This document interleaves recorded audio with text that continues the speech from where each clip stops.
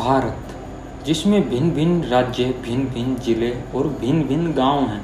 यहाँ आपको हर राज्य की, हर ज़िले की, हर गाँव की अपनी एक कहानी मिलेगी। तो आज हम आपको एक ऐसे गाँव में लेके जा रहे हैं, जहाँ पर सारे घर मिडिल क्लास हैं।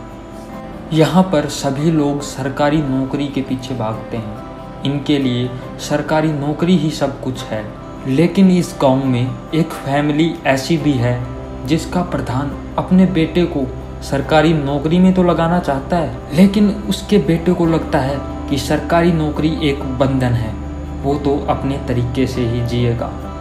तो वो पैसा कमाने के लिए कुछ भी कर सकता है, कुछ भी। चाहे आप उसको चोरी कहें, डकैती कहें, या कुछ और कहें उसको इस बात से कोई फ़र्क नहीं पड़ता। वो पैसा कमाने के लिए कुछ भी कर सकता है, लेकिन सरकारी नौकरी नहीं। तो आइए हम आपको लेके चलते हैं उस गाँव में।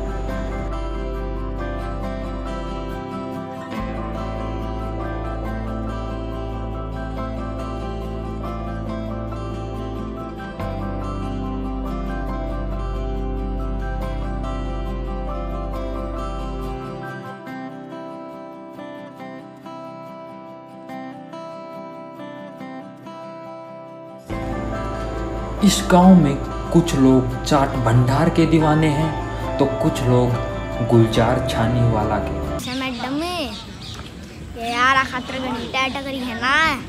तो तेरे भी टेक अरे यार से, चार घर को नहीं तेरे पक्ष है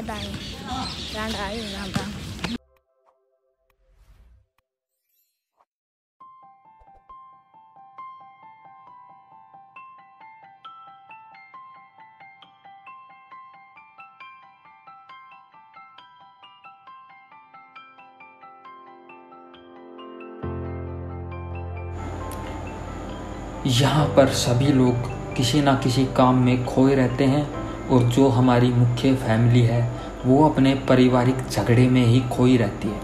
तो आइए मिलवाते हैं आपको उस फैमिली से।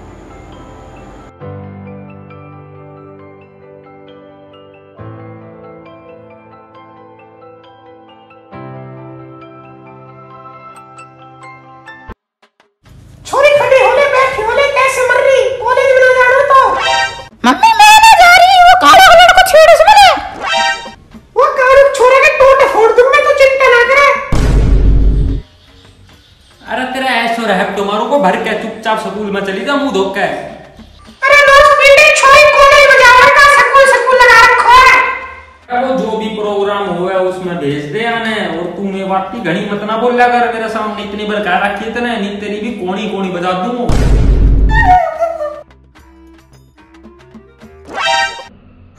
तो दोस्तों अब हम आपको मिलवाने जा रहे हैं इनके बेटे से जो कि इस कहानी का अहम हिस्सा है।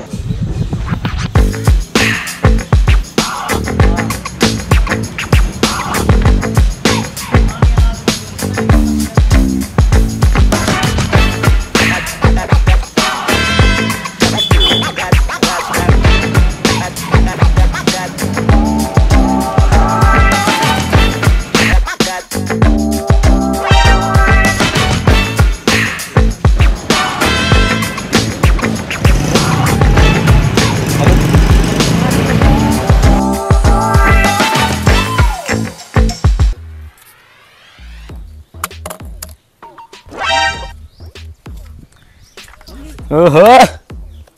आज तो भाई साहब ये पल। पंद्रह रुपए भाई साहब मौज कर दी पंद्रह रुपए। उस्ताद जी आज आप क्या ले आई अरे आज लेकर आए हैं ना मोटा सामान।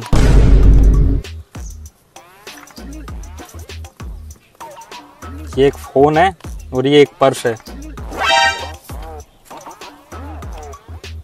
भाई साहब ये तो पुलिस वाले का पर्स है। उस्ताद जी आपने तो आज पुलिस वाले का ही बटुआ मार लिया। अरे हाँ भाई हम कहे उसका बटवा मार दे। और अब इसको देखो मैं किस तरह काम में लेता हूँ। कल नकली पुलिस वाला बन के खड़ा हूँ रोड पे और लोगों को ठगूँगा।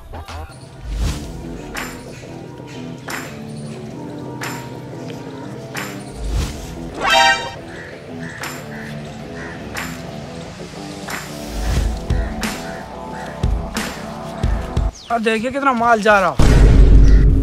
अरे ओ कलवा के क्या माल? ऐसा रात में मारूँगी? सकल बुझाने जाऊँगी। अच्छा मुझे सिखा रही है। अरे ओ कलवा के छोड़।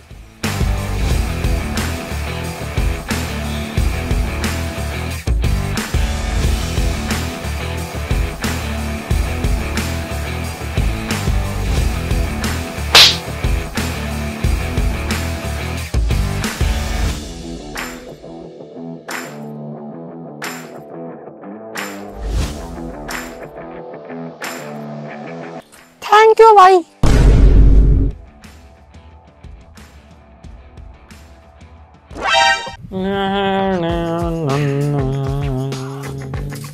लो भाई साहब आप कमाल अरे माड़ इतनी लेट लेके आया क्या बात हो गई?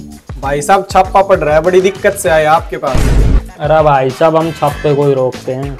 भाई साहब बड़े बड़े असले आ गए हमारे पास। कि मैं औज़ार पोजार जो चाह वो ले लियो ये बड़ा काम करने लग गए हम। भाई कोई दिक्कत नहीं है अभी तक तो ज़रूरत नहीं है। जब हमें ज़रूरत पड़ेगी तो हम आपसे ज़रूर संपर्क करेंगे। ठीक से भाई कॉल कर लियो एक बार। हाजिर पावांगा पहला ही कॉल पे। ठीक है भाई साहब नमस्ते चलो जाओ। रोम रोम जी।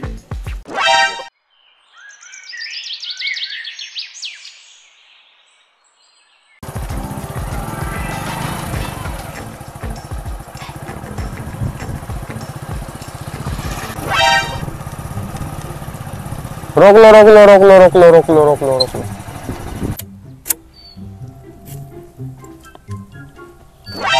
अरे बेटे तुम। हाँ गुरु जी मैं। क्या कहते थे तुम कि मैं कभी कामयाब नहीं हो सकता? ये देखो पुलिस वाला बन गया मैं। अरे बेटा इस फ़ोटो पर से तुम उंगली उठाओ। नहीं जी नहीं मैंने फ़िल्टर नहीं लगा रखा बेइज्जती ना हो जाए मेरी। और गुरुजी कहाँ पढ़ा रहे हो आजकल? बस बेटा उसी स्कूल में जिससे तुम पास आउट हुए थे। ठीक है गुरुजी हज़ार रुपए दे दो आपने हेलमेट नहीं पहन रखा। अरे बेटा तुम मुझसे पैसे लेगा। हाँ गुरुजी। बेटा आज़ाद छोड़ दो कल से पहनाऊँगा गुरुजी जब हम आपके पास पढ़ते थे जब हम भी आपको बहुत कहते थे कि कल काम कर लेंगे लेकिन आप हमें छोड़ते थे नहीं छोड़ते ना तब चुपचाप इस जेब में हज़ार रुपए डालो। डाल दो डाल दो। हम्म, ये लो चाबी चल दो और कल से हेलमेट पहन के आया करो वरना दो हज़ार का चालान पाड़ूँगा।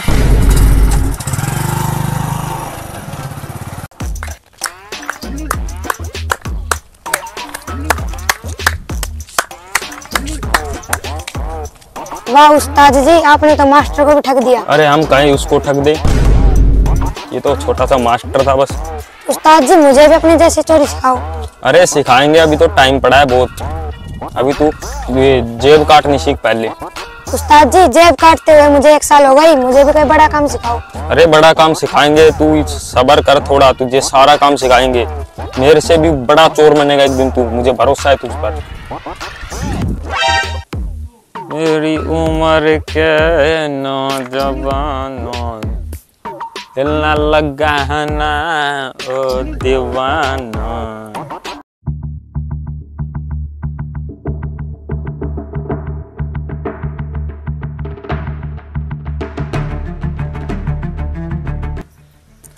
ओए!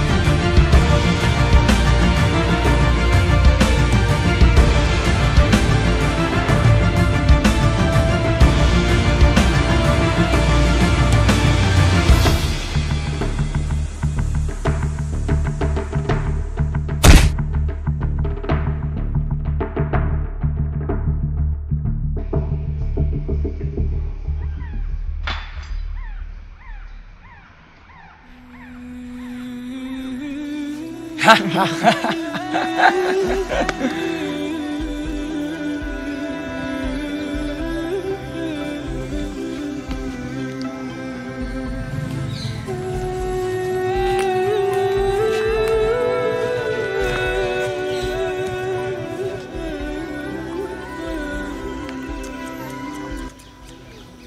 लिख के शेर पालो पर मार आगे भय मत पालो। के समझा। ये समझा छोटू।